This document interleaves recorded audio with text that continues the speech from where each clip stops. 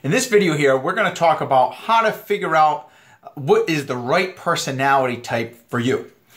Each couple, man and woman, have certain personality type, types that are different from each other, and that's what makes them attracted.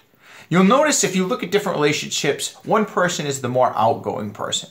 The other is more the quiet one. And these I'm talking about in healthy relationships that tend to last. If you look at couples that have been together for a long time, 10, 20, 30 years, you'll find that they usually have these similarities. And one person is the leader where one is the follower. One is the quiet one, one is the, the social one or the loud one. Uh, one is, let's say, the more logical, practical type, and the other person is the more spontaneous, wild type.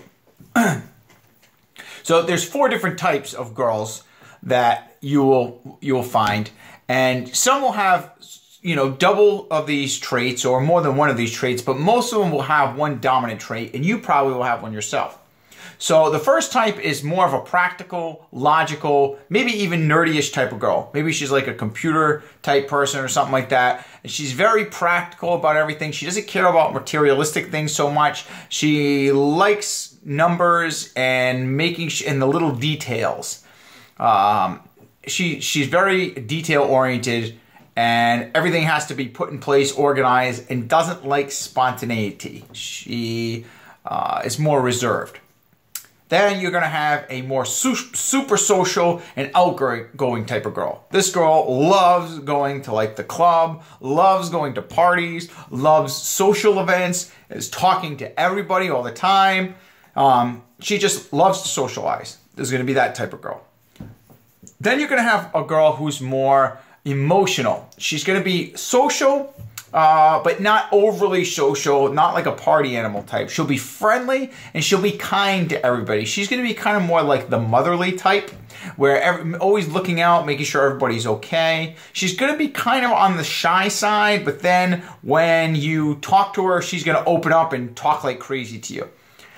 So, but she still will be friendly. She'll enjoy a lot of people's company. She'll enjoy being around others. She'll always be trying to take care of people in the group and making sure, like, how are you doing? How's everything okay? Oh, that's good. Always trying to be the, the motherly, kind person. She'll probably be a very emotional type where she, you know, she'll cry a lot in romantic movies and things of that nature.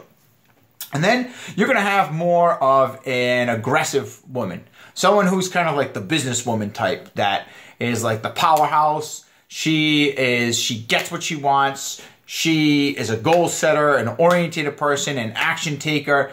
She, uh, you know, she's a more dominant female, someone that kind of runs things or is a take charge type of girl.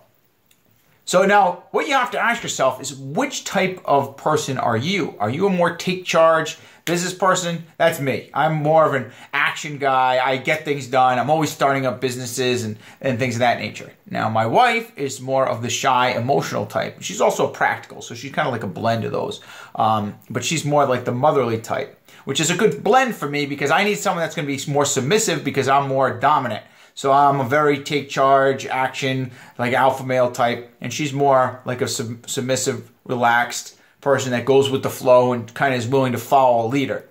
Then there's uh you know if you're not an action person and you're more of the shy person or more of an emotional guy you may want to go better with the girl who's like a take charge person then if you're a super social people uh super super super social person as a tongue twister there you're going to want probably a more practical person to bring you down to earth. Now, I'm kind of a blend of the take charge guy and a social person. I am a very social person. I enjoy going out a lot and, you know, going to parties and things like that and doing stuff. So my wife is also a blend of the shy and the practical. So that helps balance me out a lot because she she's not the type to want to do that as much. Where me, I'm always like, yeah, let's go out. I'm spontaneous. I'm always trying to do things, and she's more like, let's you know, let's just take it easy. Let's do this.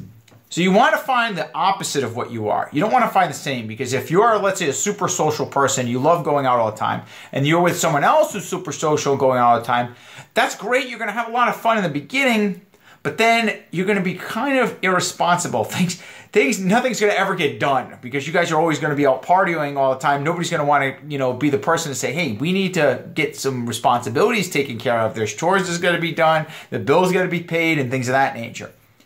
When a social person is more balanced out with the practical, logical person, the logical person says to him, you know, hey, we got to do this. Now, you might be more like, let's say, an engineer type, which is the practical person. If you're like an engineer and you like details and making sure all the rules are followed, then you'd probably be better off with a social person because they'll get you out of your shell. I found that practical people are not the most fun people to be around. No offense if you're a practical person, but just, you know, they're because they're very uh, worried about like responsibilities, following the rules, and things of that nature. So having a social person around kind of gets them out of their shell and gets them out a little bit more, has you know makes them take a little bit more risk, chances, and they balance each other out. Where the social person needs to be brought down to earth, and the practical person says like, "Hey, you you know you're a little too crazy. You need to calm it down." So that they work out well together. Okay? Um, so figure out what do you think would be your best match? Because if you're, let's say, an action taker like me, and you're to meet another girl who's an action taker, you guys are to butt heads, and it's not to go well. There's just not to be. There could be some attraction there, maybe for a casual relationship, but a relationship with that girl is just not to work out because you, you guys are to be too aggressive. Someone you need a follower for you, not another leader. And a leader and a leader are, are going to butt heads. They're going to fight, and they're going to be like, "I want to do it my way." No, I want to do it my way, and and that's going to cause a lot of problems and arguments.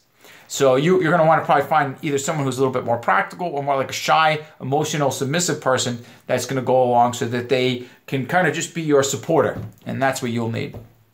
All right, so next we're going to go over what's the type of girl that you should go with. Not personality, but what suits your interests and what kind of girl are you're interested in. So I'll see you in the next one.